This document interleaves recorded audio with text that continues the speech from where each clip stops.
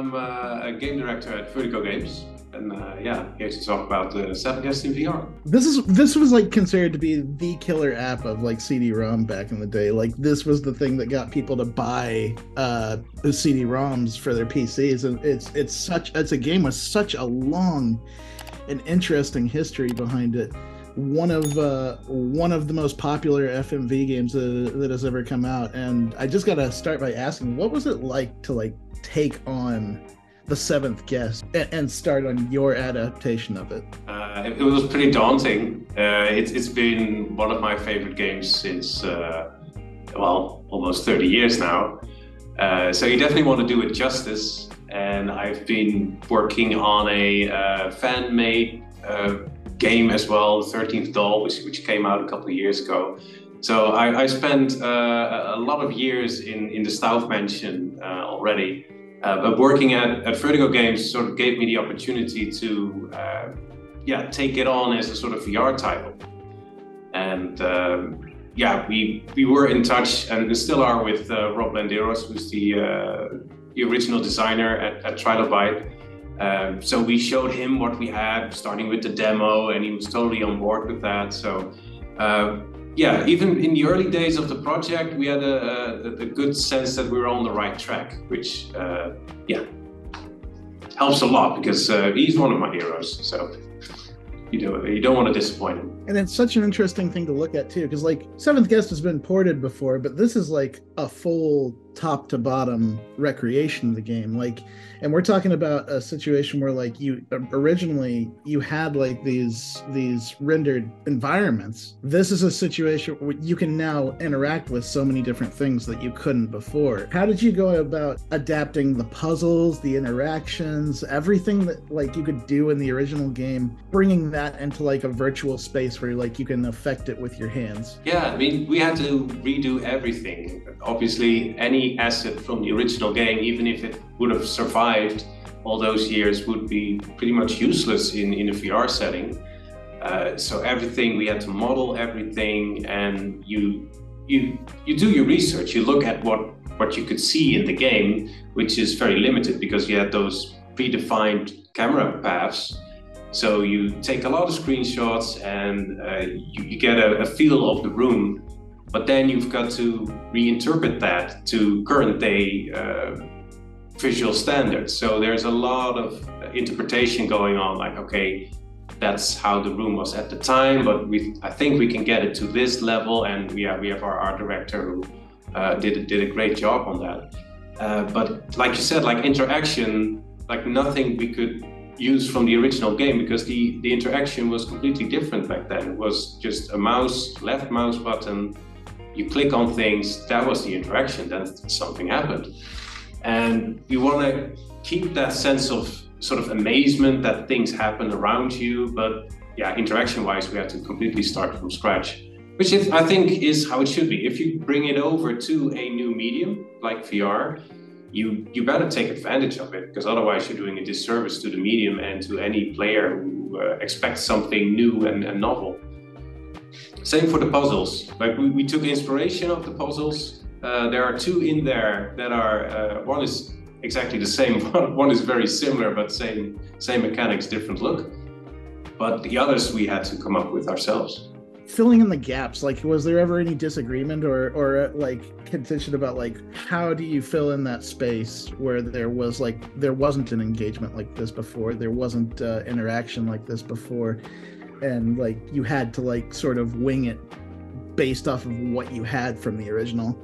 Um, I, I, have to say it was pretty smooth sailing. I mean, there there may have been lots of discussions internally, sometimes for or regarding very minute details, like I think this button should work like this, or this. How do you work with a door? Like a door is just a tricky thing in VR in general no, it needs to swing both ways. But yeah, real doors don't do that. No, but in VR it works better that way. You, you have those kinds of discussions. The original, you, you couldn't look for the to the original for that because that's that's not how they did doors back then. Just you click on the door and everything happened. So you had those discussions. Um, as far as uh, checking with the original designer, uh, Rob Landeros, he was pretty much on board with whatever we were doing. We, we sent him updates on where we were, and he was commenting on the mood of it. Like he said it was just fun to spend time in, in the mansion and look around and get a feel for it and, and hear the music and all that. So on that, we were um, pretty much right from the start in, uh, in, a, in a good position. And the rest, yeah, VR interaction is always a bit tricky. That's such an interesting thing to think about too. Like, I'm happy to hear that that Landeros was so involved in this. Has he has he seen like the final build? Uh, not the final final, but uh, very recently. Yeah, and nice. He's very laid back about it all. I mean, he's he's retired at this point and just keeps sort of tabs on on, on what we're doing. And uh, I'd love to sort of inform him because I like talking with him and just showing what we have. Yeah, no, there was, there was nothing where he was saying, okay, that you're deviating too much from the path here. This is not what the Seven Guests is supposed to be. Story wise, we stick real close to it. We, we have rewritten dialogues and sort of sometimes swap things around just slightly, but it is in, in essence the same story. As a fan of the original game, like, is there any without giving like a spoiler away or anything like is there any particular puzzle or interaction or exploration that you were really excited about bringing into the VR space and realizing in this new medium? Well, not, not so much the original puzzles, I have to say. I mean, they changed a lot. Like I mentioned, there are two in there that are reminiscent of the original one being like like a carbon copy. Um, that's that's the Queen puzzle in in the game room. Uh, if you remember, you have to place like eight queens on uh, on a uh, chessboard. And I thought that would work just as well in, in VR.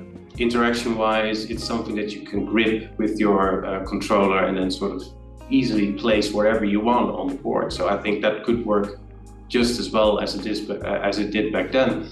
Yeah, a lot of the other puzzles just didn't translate that well to VR, and that's why we sort of came up with our own uh, puzzles, but in the same setting, same atmosphere, sometimes even sort of winking at, at the original, so that there is this uh, yeah backdrop backdrop where it, where it came from. One of the early uh, FMV games, like they had full actors delivering full lines and uh, it seems that that is kind of intact here as well like it's not on fmv obviously but like it is like you have these like real character these real people taking up these characters and delivering them for this game and what was it like to like adapt and recreate that in in the VR version that was uh, very challenging it's it's technology that has been around for a couple of years but it's it's been on mobile games or mobile apps I should say and it, it, did make a brief appearance in VR as well. There's a, a demo for the uh, second Blade Runner film, but I'm not sure if that's even downloadable anymore anywhere. Um, they use that technology, and when I saw that, my mind just instantly went back to the Seven Guests, thinking, "Oh, that that's the way to get that kind of uh, real life actors in your your game in in a way that they did in the original." because to me that was so vital. I, I really did not want like rigged characters in there, which totally works in in any other sort of game, and that offers a lot of interactivity and you know there's an existing pipeline for that. Everyone knows exactly what what they're doing and what uh, how to approach that. But when I saw those actors in VR in that with that technology, I was like, no, this this is just a match made in heaven that needs to be in, in the, the seven guest uh, yeah VR version.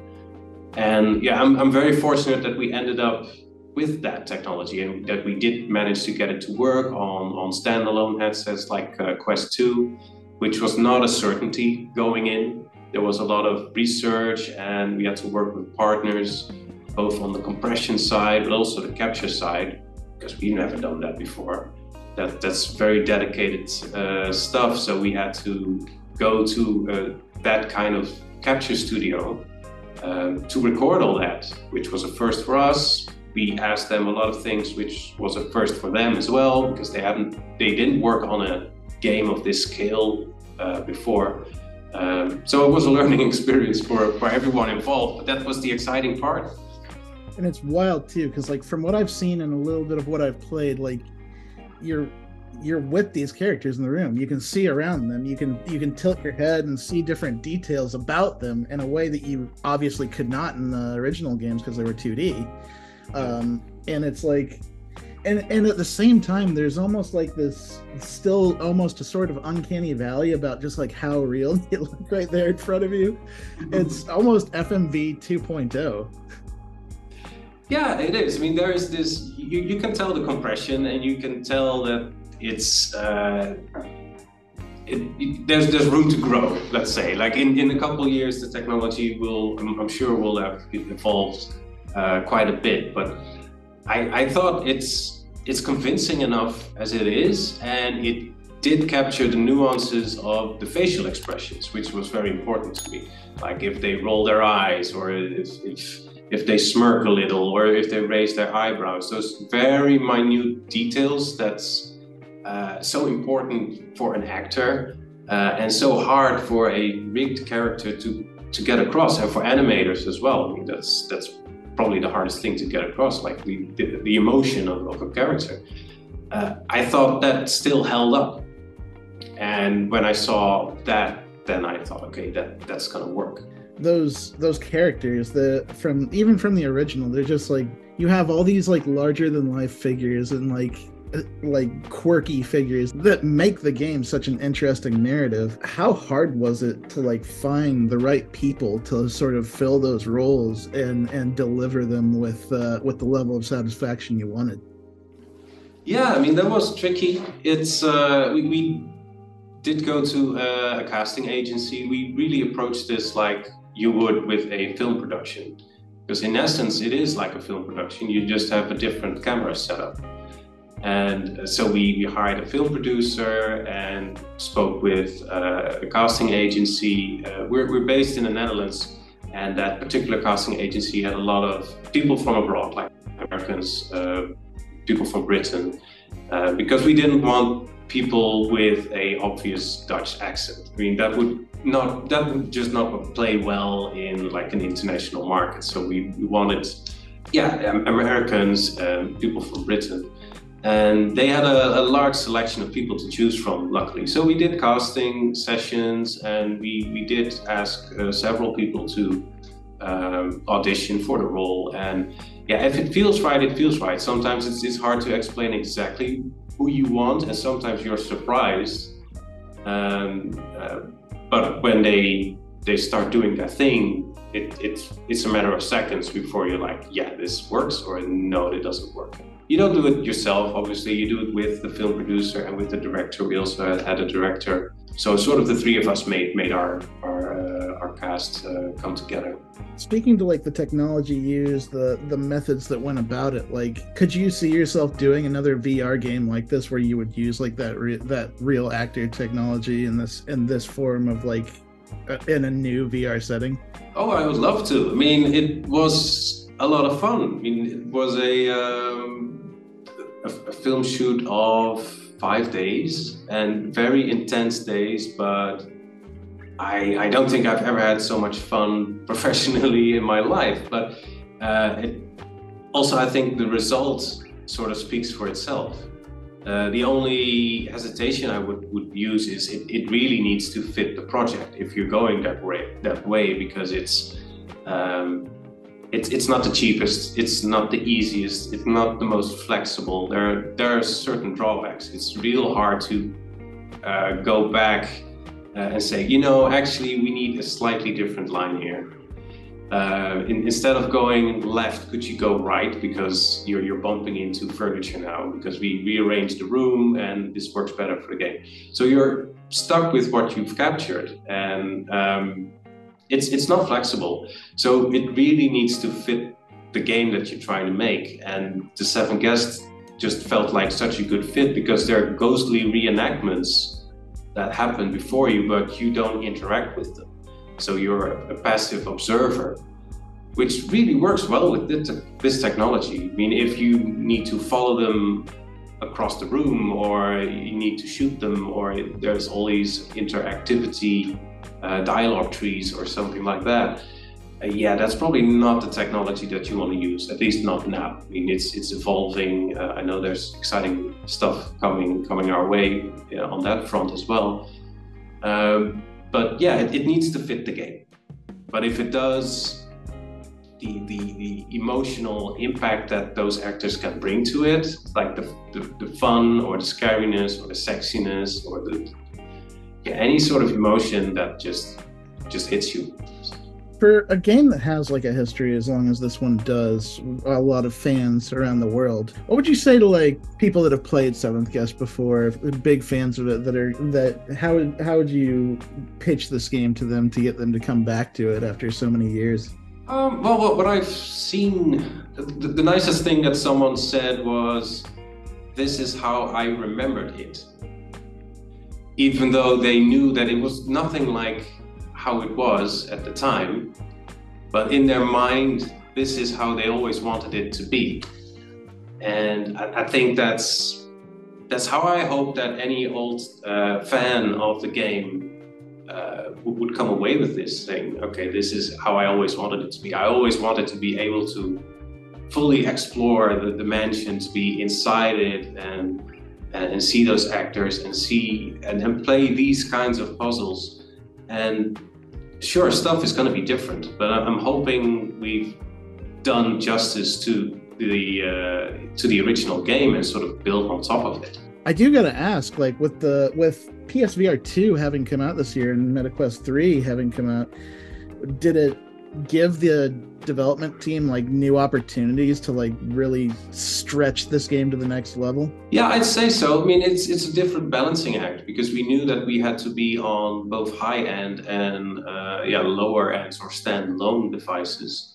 So we had to be real flexible in how we approach things. It, it was a pretty short development timeline, so we couldn't say, okay, we'll make this version first, and then we'll spend uh, another year either upgrading it or downgrading it, whatever would make the most sense. So we were always working on multiple platforms at once. Um, but but I think it's it's not a detriment to any particular platform. I think we still managed to uh, use uh, strengths of, of both what comes next for Vertigo? Are there any plans after uh, Seventh Guest comes out? Oh yeah, I mean uh, it's it's been a really busy time at Vertigo because we we're so big at this point that multiple projects is, are happening at once. Like the Seven Guest is actually sort of the side project. A lot of people are working on Arizona too, and uh, th- that's coming out uh, in a matter of months. So everyone is still very busy so for the next foreseeable future, people will still be very busy on games, and yeah, there will be new projects coming in, and yeah, lots of stuff going on. This is a fun one. How far do you think we're out from a uh, a VR Mad Dog McCree remake? wow. You know, I, I'm hoping that that's that's going to be soon. Wouldn't that be great? I'd love to play Mad Dog McCree VR. yeah,